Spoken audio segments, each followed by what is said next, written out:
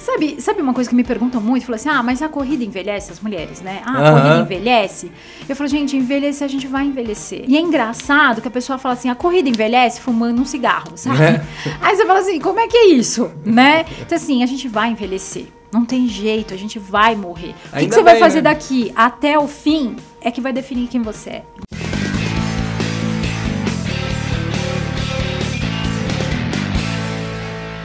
Olá pessoal, tudo bem? Aqui sou eu, André Ascar, do Corrida Perfeita, e hoje eu tenho uma convidada muito especial. Valerie Melo, uma das melhores ou das maiores atletas amadoras de corrida hoje em dia no Brasil, tem conquistado muitas coisas, tem ganhado mídia, tem trabalhado, tem equilibrado pratos por aí, e é isso que eu lhe convido para você trocar essa ideia com a gente. Muito obrigado por estar aqui, por estar aqui no nosso estúdio, Valerie. Por favor, se apresente pro pessoal, fale um pouco mais sobre a sua história e vamos trocar ideia. Oi, pessoal, tudo bem? Eu sou Valerie, meu nome na verdade é Valéria. O pessoal fala Valerie, Valéria, Valéria. Mas o meu apelido é Valerie. E eu tenho 38 anos, sou mãe de uma menininha de 10 anos, sou contadora, trabalho com contabilidade, tenho um escritório de contabilidade. E encontrei na corrida um esporte, um hobby que virou minha paixão. Corro há 7 anos já. Opa! E, e isso virou meu, meu sonho, meu objetivo. E qual maior. foi a sua primeira desculpa para você calçar um tênis e correr, Valerie? Então, primeiro eu queria. ah, acho que a corrida, na verdade, assim, ela. ela- pra- acho que pra- quase para todo mundo ela é um esporte fácil, né? Sim. Você coloca o tênis, sai, vai. Natural, né? Todo mundo Natural. aprende Você coloca e sai pra correr. Então ela sempre esteve na, na minha, na minha vida com vários esportes e tal. É, eu, em 2006, eu cheguei a fazer uma meia maratona sem nenhum preparo. Zero. Zero, zero, zero. Os, os amigos falaram, vamos lá correr no Rio. Eu falei, vamos, porque eu corro 10 quilômetros de vez em quando. Mas você treinava na sua infância? Como é que foi a sua infância esportiva, Infância, de assim, brincadeira? infância, como é que eu era? treinei meu irmão, eu tenho um irmão, e ele queria treinar taekwondo. Fui treinar com ele Você era taekwondo. sparring. É, ele queria treinar, falou, vamos junto comigo. Então, meu esporte nunca foi balé, jazz, nada. Foi sempre mais, mais de, de briguinha. Tinha irmão, primos, né? Competitividade. Então, é, e apanhava, batia, enfim, né? E eu fui até 18 anos, eu treinei. Foi quando minha mãe falou assim que esporte não dava dinheiro, né? Ela falou, vai fazer uma faculdade, né? Então eu tive que parar. Mas eu cheguei até Ponta Preta no Pô. Taekwondo. Gostava muito de lutar, muito. Mas a minha mãe cortou aí meu, meu barato. Eu Barato. tive que, enfim, entrei. Comecei a fazer faculdade, trabalhar desde 17, 18 anos. E aí não saí mais, né, dessa, dessa vida de trabalho Entra na, digamos, na roda do rato, né? Exato, tem que pagar contas exato. e responder ao exato. que a sociedade pede da gente. Tá na hora de casar, tá na hora Tem de ter filho. Casar. tá então, eu casei, eu tinha 22 anos, né? Eu era super novinha. Casei Bem com nova. 22 anos, tinha acabado de fazer 22. Fui ter filha com a minha filhinha com 28, então tudo tava muito certo na minha vida, né? Tudo tava muito encaminhado. E o esporte entrou em, ah, em 2012 para 2013, a corrida especificamente, porque eu engordei na, na gestação da minha filha e eu não quis logo na sequência emagrecer, sabe? Não fazer alguma coisa. Eu queria ficar com a minha filha, ser mãe mesmo. Uhum. Curtir né? esse momento, o né, momento cara? mãe. Fui até uns dois anos, dois anos e meio. Foi quando eu resolvi que eu precisava emagrecer. Quando ela já tinha dois anos, dois anos e meio, eu eh, ia viajar e falei, meu, agora você precisa emagrecer, né? Porque ficou uma coisa. É engraçado, mas não sei se isso acontece com todas as mulheres, mas quando eu virei mãe, eu virei mãe. né? Aham. Então eu já não era mais mulher, sabe? Então eu não Sim, me você olhava. era a eu mãe me- da sua filha. né? Exatamente. Então eu não me olhava muito no espelho, então eu não vi o que estava muito acontecendo. Não me incomodava, era alguma coisa assim que não. Você tava focada em outra coisa. Outra coisa, o foco era minha filha e tava muito feliz, tudo bem. E nessa viagem eu falei, bom, vou ter que usar biquíni e tal, como é que eu vou fazer, né? Eu falei, vou emagrecer. Então eu escrevi de 2012 para 2013, vou correr. Sabe aquela coisa assim? Vou correr seis da manhã, vou treinar, vou comer direitinho, coloquei todas as. Você as sempre foi organizada, assim, Sempre. de planejar no quadradinho, Sempre. tal hora, tal Sou hora. contadora, né? Então. Os números de- são seus tem amigos. que Eu tenho que me organizar, né? E eu escrevi, só que chegou em abril e eu não tinha feito nada, como todo mundo. ninguém, não, ninguém deixa pra depois. E uma amiga me chamou pra ir correr em Santos, numa prova muito bacana que tem a tribuna, Uhum. 10K. E quando eu terminei a corrida, que eu corri, né, fiz a prova toda, quando eu terminei, eu falei, gente, isso aqui é meu mundo, isso aqui é o meu lugar. Você eu, se encontrou Porque ali. eu não sabia nem que existia assessoria de corrida, né? Eu não sabia que tinha alguém Você que tava treinava. fechada, né, para sua filha, Sim. nesse mundinho. E eu acho que tem muita gente que ainda não sabe. Eu acho que você fala, não, mas nossa, hoje tem Instagram, tem, tem muita gente que não sabe que existe um treinador que te explica como correr, que te manda uma planilha, que Uhum. não sabe como é que faz uma sequência de provas, né? Pro- Prova-alvo, essas É coisas. que muitas vezes a gente se fecha numa bolha, né? A gente não Sim, tá aberto, ainda mais com exato. as mídias sociais que vão mostrando pra gente o que a gente procura. Então, cada vez mais o mundinho vai se fechando no que a gente tá acostumado a ver, né? Exato. Aí de repente cheguei ali, aí aquela, aquele pessoal todo animado, depois de correr, e todo mundo muito feliz, aquela coisa né, da endorfina. Aham. Eu falei, nossa, eu quero isso aqui pra sempre. Já fechei ali. Falei ali. Como eu eu comecei a treinar com o Rodrigo Lobo, era a assessoria dele. Sim. E falei, não, vou com- começar a treinar. E aí, depois de um mês, eu liguei pra ele, né? Eu fazia a distância, liguei pra ele e falei, ai, Rodrigo, agradeço o seu trabalho, agradeço o seu esforço, mas assim, não vai dar. Tô com muita dor. Eu sinto dor no meu pé, dor no, no braço. Eu descobri Tá músculo que eu tudo. desconhecia, assim, né? De dor, né? Aham. E, e na verdade é isso mesmo. Quando você começa a praticar com uma sequência, é, é difícil, né? Até É o corpo se adaptar. começa, exato, você começa a né? gerar uma sobrecarga que o seu corpo não tinha antes. É, Até ele se adaptar a esse novo até mundo. ele. E aí ele falou assim pra mim, não, não vou deixar você desistir, você vai continuar. A gente tem um, ele, ele falou bem assim, a gente tem um, a gente tá só começando. Isso aqui é o começo, calma que vai, vai, vai virar. E aí eu comecei a correr mesmo com ele, fiz uma prova de 10, fiz uma, aí de 10 eu pulei pro 21, lá de São Uhum. Bernardo, a meia maratona de São Bernardo, que é em outubro de 2013, foi na época de outubro. ah, agosto, não, foi agosto, agosto de 2013. Aí quando eu terminei, eu falei, eu vou fazer uma maratona. Terminei a meia, assim, com quatro meses treinando. Pô, que bom, você treinou legal, então, e a sua Treinei vontade super era bem, muito né? grande, É. porque normalmente as pessoas terminam e falam, eu não quero esse negócio não nunca quero, mais. não, eu falei, não, eu quero ir pra maratona. E pulamos pra maratona, fui pra maratona de São Paulo, em 2013. Comecei a treinar. Só que assim, loucura, né? É, é, do- terminei a prova em 3 horas e 58. E foi uma coisa que me marcou muito, me emocionou muito. Eu, Hum. E, e essa, essa coisa de continuar, sabe? De falar assim, não, eu vou, eu não tô aguentando, não, dá mais um Para não, passo. para não. Aí eu pensava muito na minha filha, pensava muito em, em continuar e não parar. E falei, gente, isso aqui é fantástico. Lógico que no dia seguinte também não andei, né? Não saí da cama. Segunda-feira eu não saí da cama, mesmo, sério. Você eu não levou seu consegui. corpo ao máximo. Eu rolei até o banheiro e voltei pra cama. A sua preparação mental já era muito grande, né? Dentro É, da área da cabeça. competição, do taekwondo, de persistir, de Foi, continuar, atingir o objetivo, né?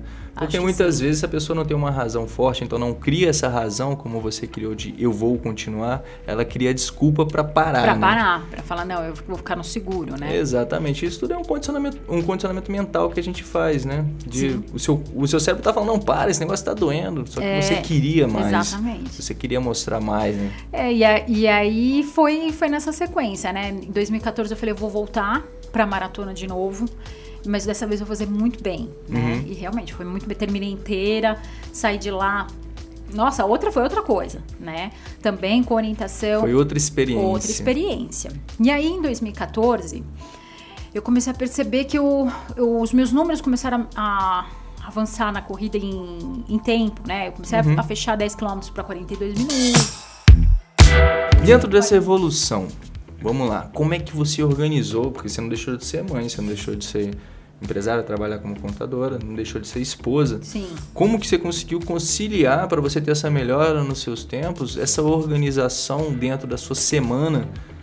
Quantas horas? Você disponibilizou de muitas horas? É porque muitas vezes as pessoas acham que para você ter uma melhora no rendimento, você tem que disponibilizar inúmeras horas na sua semana para você conseguir isso, senão não é possível. Como você organizou isso? Então, na verdade, o que eu percebi desde o começo foi o seguinte: é, o tem, eu não ia criar tempo, né? Já todo mundo tem 24 horas, as Sim. minhas já estavam ali meio ocupadas, então eu tive que me organizar. Então, é, acordar mais cedo para ir treinar. Então, às vezes, por exemplo, quando uma das maratonas que eu participei, eu 5 e meia da manhã já estava treinando. Uhum. né? Então eu começava às 5 e meia, acabava umas 8, 8 e pouquinho, ia pro trabalho, fazia tudo que eu tinha que fazer no trabalho, voltava para casa cuidava da minha filha, jantar, né, ó, é, cuidava de, de coisas básicas da casa, né?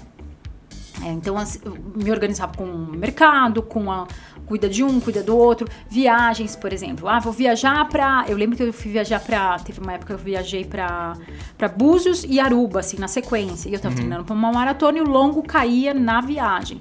Então, se você se organiza de procurar lugares para poder treinar e não virar, ah, não vou fazer. Não, não tem como. Você vai se organizar. Você tá arrumando a desculpa para fazer e não pra, pra fazer, não fazer. exatamente. Então, eu acho que a minha. O, quando a gente fala assim, pra é, o principal é que eu acho que, uh, principalmente aqui no Brasil, hum. as mulheres encontram muita dificuldade para buscar melhoria na corrida, performance. E às vezes, e assim, tem uns números muito loucos. Tem maratonas que tem provas também de meia maratona, que a meia maratona as mulheres são a maioria. Uhum. No entanto, quando você vai para maratona, não chega nem a 5%. Então, assim, uhum. você percebe que quanto mais distância você coloca numa prova, menos público feminino aparece, porque é, existe a maioria, né? Não, não todas, mas assim, tem filhos. E é, é muito estranho isso, a gente falar assim, quando o homem sai para treinar, beleza, ah, o papai vai treinar, tal, tal, tal, beijo, tal, tal, tal.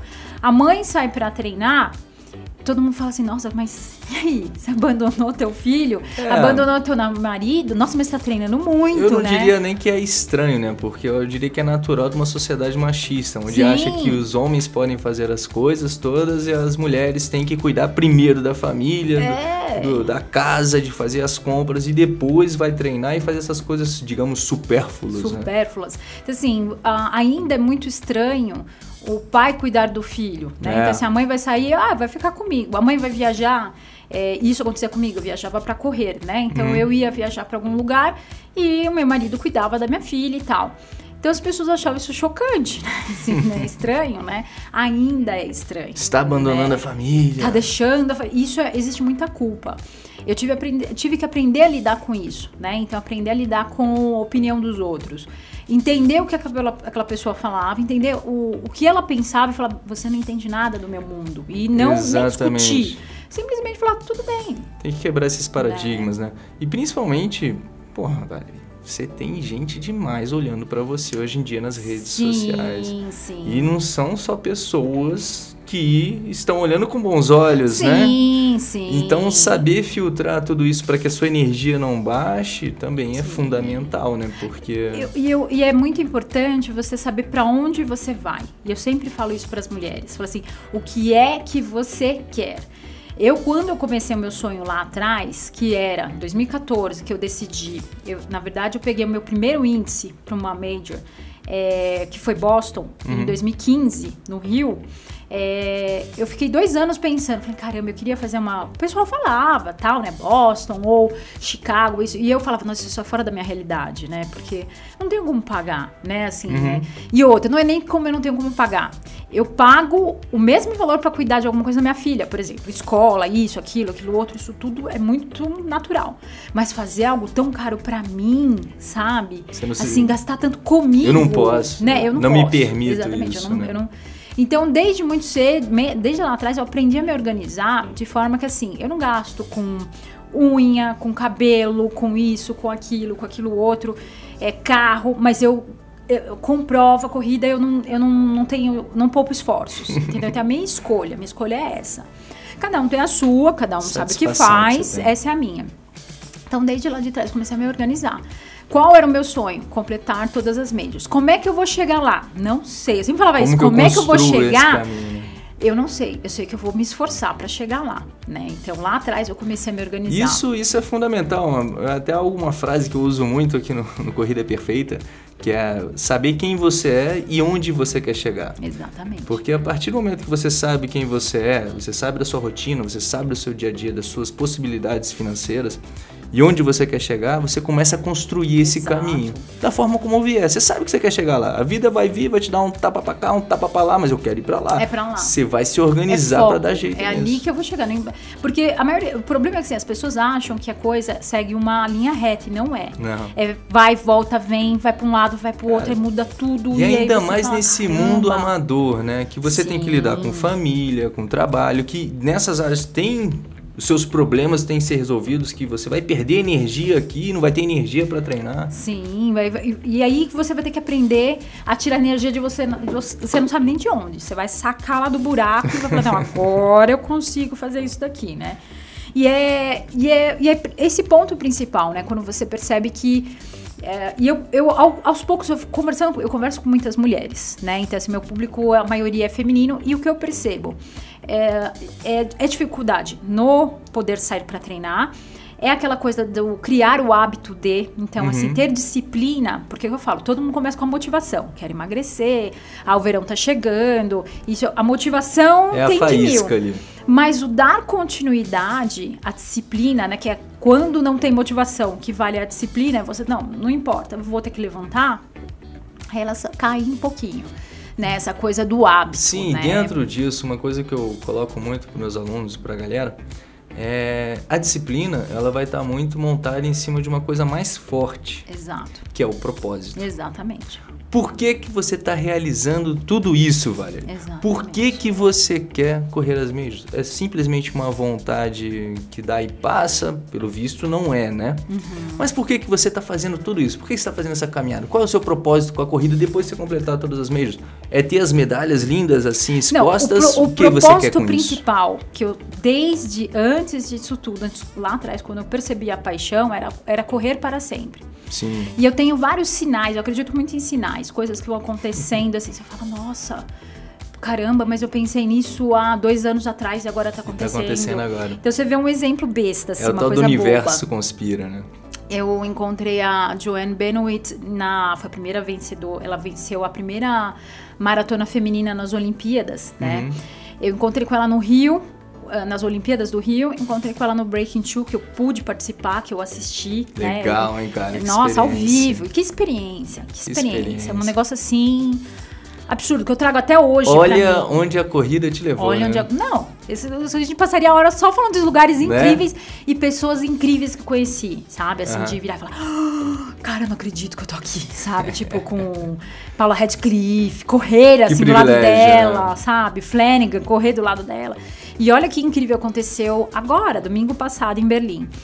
É, eu tinha visto a Joanne no hotel, Uhum. encontrei com ela e falei com ela. Ai, deixa eu tirar uma foto, nossa, te admiro, te encontrei, falei pra ela.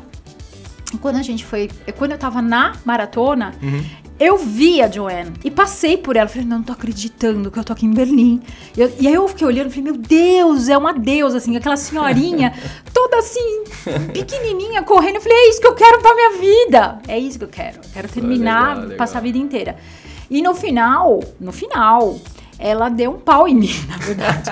ela saiu correndo numa velocidade que ela passou e eu não consegui pegar a Joanne. Eu não vi a Joanne. E no fim ela terminou um segundo antes. Eu fiz 3, 2 e 22. Ela fez Aham. 3, 2 e 21.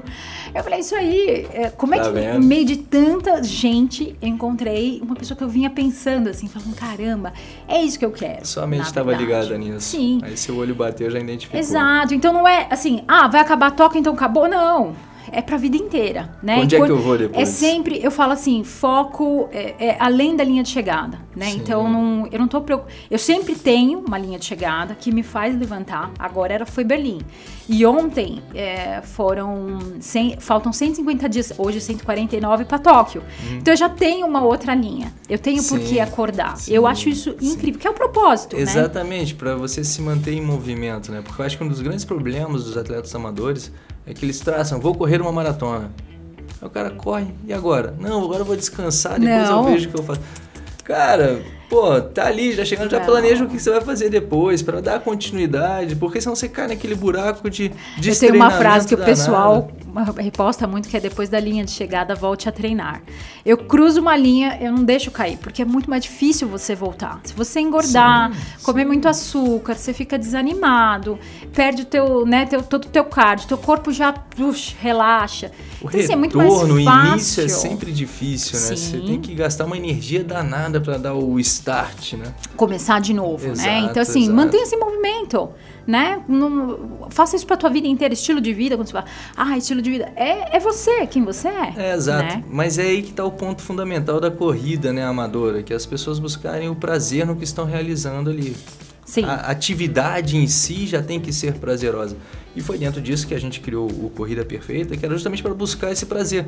Porque Sim. as pessoas viam a corrida muito, não dói, não dá, dói o joelho. O médico falou para não correr, para fazer uma maratona só no, no ano, que senão. Não, são coisas muito absurdas, né? é, que Sabe, sabe uma coisa que me perguntam muito? Falam assim, ah, mas a corrida envelhece as mulheres, né? Ah, a Aham. corrida envelhece?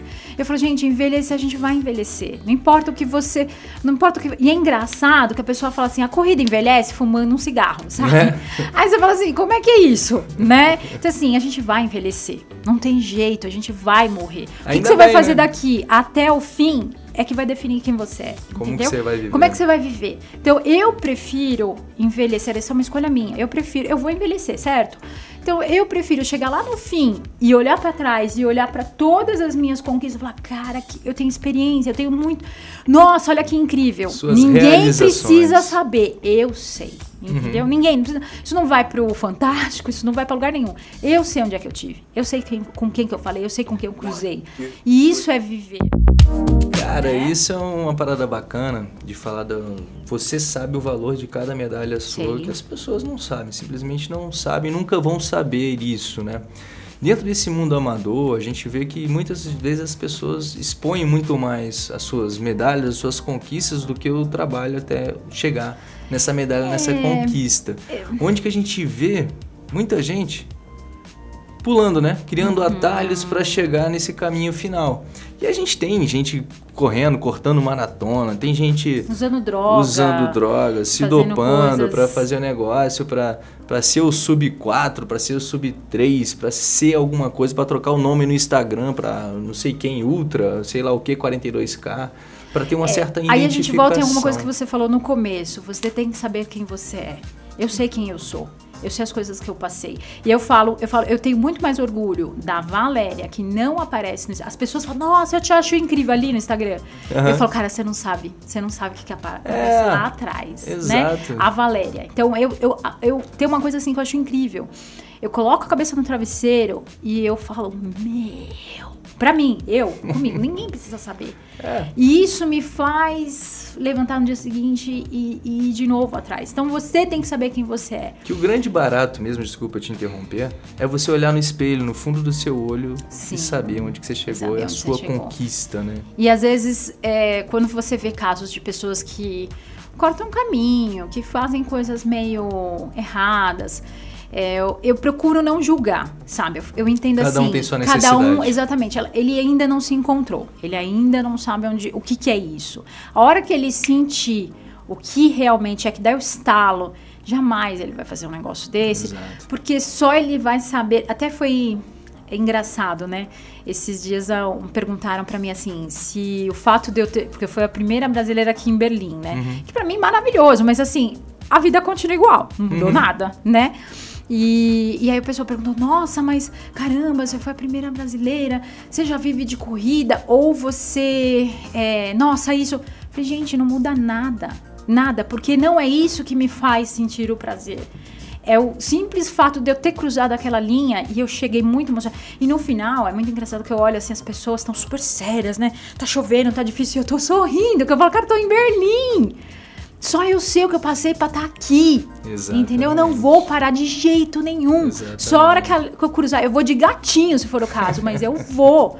Entendeu? Então aí quando você coloca isso muito forte, Você não precisa, mas é uma É. consequência. As pessoas acharem isso legal é uma consequência, mas não que vira o Exatamente. principal. É Que o ego, esse né? sentimento de gratidão, de você estar grato por estar onde você está, Nossa fazendo o que você está, isso é uma coisa, uma energia muito poderosa. né? Muito, muito. A hora que você acorda e vai dormir agradecendo, Exato. não importa o que aconteça. E eu, eu digo o seguinte, né? As- as- eu tive alguns problemas que seria, seria assunto para um outro, outro vídeo. O Thiago já tá mandando eu, cortar aqui o eu negócio. tive alguns problemas pessoais muito fortes, né, muito sérios, e eu percebi que a única forma de eu sobreviver a tudo aquilo, sobreviver eu, minha família, todo mundo, Botando manter a minha foco. filha, é agradecer o que vinha de positivo. Ou eu olhava para aquilo que estava vindo bom e não me fazia de vítima e não falava assim, ai, mas só eu que sofro. Não, porque mim. todo mundo sofre.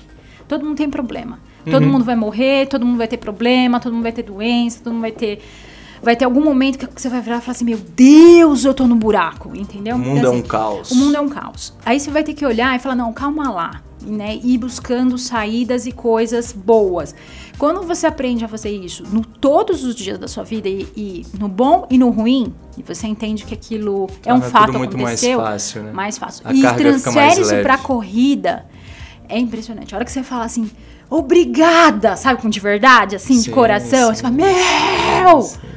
Você olha pro lado, tá todo mundo sério e você tá lá vibrando. É porque as pessoas às vezes se prendem no- na coisa ruim, como você mesmo falou. Sim, porque tá sofrendo, tá Tá doendo. ruim, ah. Cara, uma coisa que eu falo muito é da questão da sofrência. Tem gente que já vai preparando a mente, ah, lá vou eu para a sofrência. Mesmo, você já tá buscando o sofrimento. É. Porra, vai buscar o barato da Exato. corrida, ao invés de buscar o sofrimento, a dor. Ah, é ruim, é ruim. Mas são Porra, como é que vai fases. ficar bom, velho? São fases, porque assim, eu já tive essa minha fase. Eu já treinei pra provas, assim, antes, eh, se eu soubesse tinha 32 no final de semana, já ia passando a semana. Ai, meu Deus, ai, Já vai sofrendo antes. Hoje em dia eu não ligo mais. Eu falo, legal, vamos descobrir um lugar no parque legal, como é, me organizo, Vamos como é que eu passear. vou. Exatamente, como é que eu vou me organizar pra treinar? Beleza, vamos lá, legal.